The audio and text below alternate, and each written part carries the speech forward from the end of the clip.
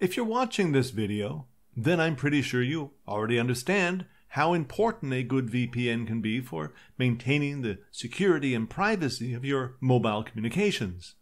Whether you need to use your phone for banking over a public airport or coffee shop Wi Fi connection, or you're worried about the wrong people listening in on your online interactions, the tunneled encryption a good VPN gives you can be invaluable. The trick, however, is finding a VPN that really is good and that's both convenient and affordable. There are plenty of commercial VPN services out there, and configuring one of those for your phone or laptop is usually simple enough. But such services can come with two potential downsides. They're often expensive, with payments averaging around $10 monthly, and you can never be quite 100% sure that they aren't accidentally or on purpose leaking or misusing your data.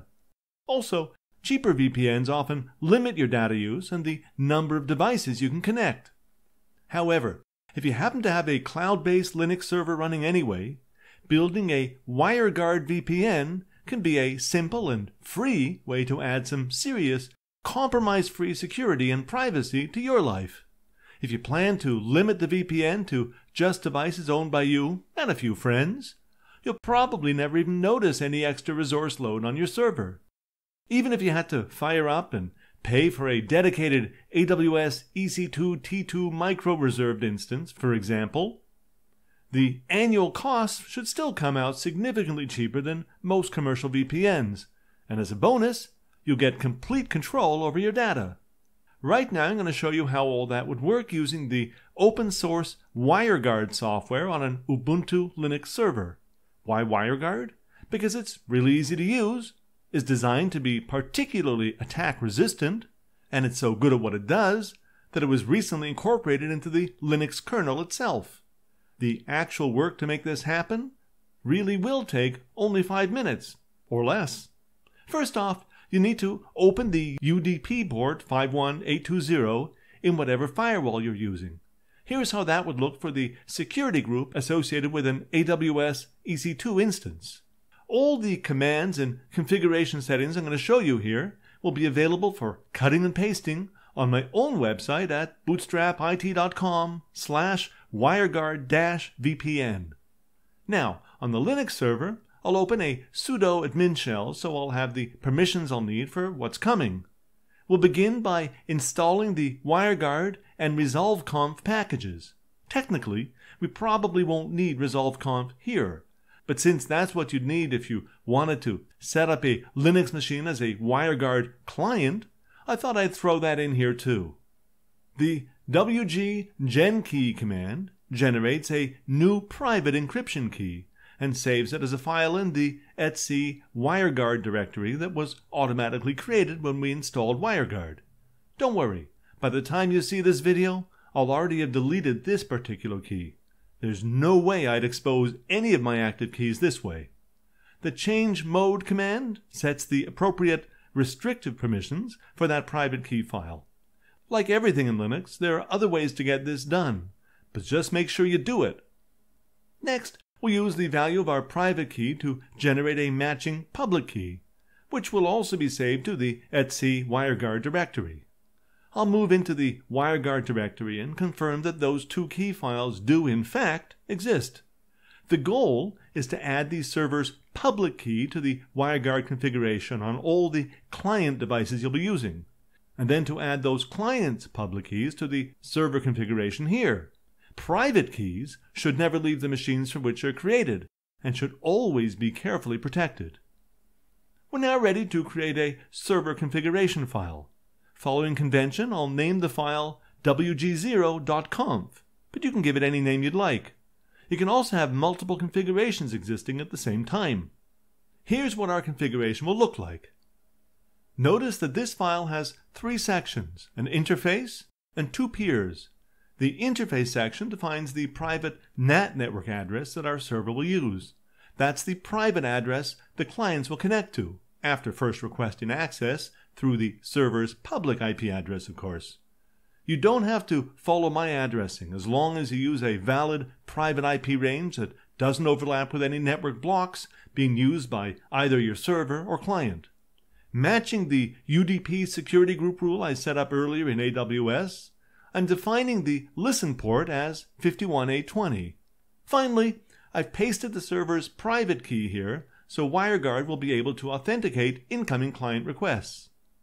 The first peer section contains nothing more than the public key and assigned private IP address of one client. The second peer section does the same for a second client.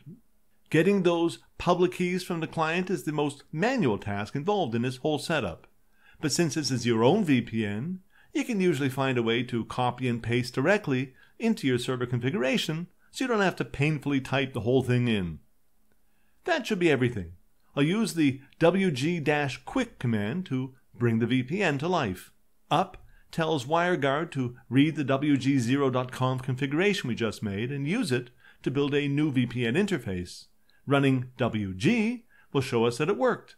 Finally, I'll run this systemctl enable command to tell Linux to load this WireGuard interface automatically each time the server reboots. That's all we'll need from the server end of things. Getting your client device set up with WireGuard is either going to be much easier or more or less the same. What does that mean? Well, if you're working with Windows, Mac OS, Android, or iOS, then there are links to GUI apps available from this wireguard.com slash install page. Those apps will generate key pairs for you. You'll only need to enter the server's IP address or domain and its public key. You'll then take the client's public key and add it to the server wg0.conf file the way I showed you earlier. However, if it's a Linux PC or laptop client that you want to add, then it's a little bit more complicated. You'll basically follow all the steps you saw for the server configuration, including the key generation. You'll even create a configuration file named wg0.conf if that's the name you like. But here's how that config file should look. The interface section represents the client machine this time, while the peer section down below refers to the server. Let's begin with interface. The private IP address should match the address you gave this particular client in the configuration on the server. If you need your client to bypass a local DNS server, you can specify a custom DNS server here. This one is the one provided by Google. Instead of hard coding your local private key into your configuration file the way we did on the server, you could tell WireGuard to read the private key file whenever it loads. This is probably a bit of a security best practice, and we could just as easily have done it on the server too. Finally, we test our connection with this ping command. The peer or server configuration requires the server's public key, which is added here. The endpoint is where you tell WireGuard to find the server. Nothing will work without this one. That would require the server's public IP or its domain name, followed by the port you've chosen. Again, 51820 is the WireGuard default. Finally, the allowed IP setting defines the network address range you'll be using, and the optional persistent keep alive value can prevent drop connections. You launch WireGuard on the client exactly the same way you did on the server using wg-quick up wg0. Again, though, all those steps will only be necessary for Linux clients. You can use the apps for other platforms. So that's that. Just as I said, a working VPN in around 5 minutes work. For more technology goodness, please do subscribe to my YouTube channel and when you've got a moment, check out the many Linux, security, data analytics, and AWS books and courses available through my bootstrap-it.com website.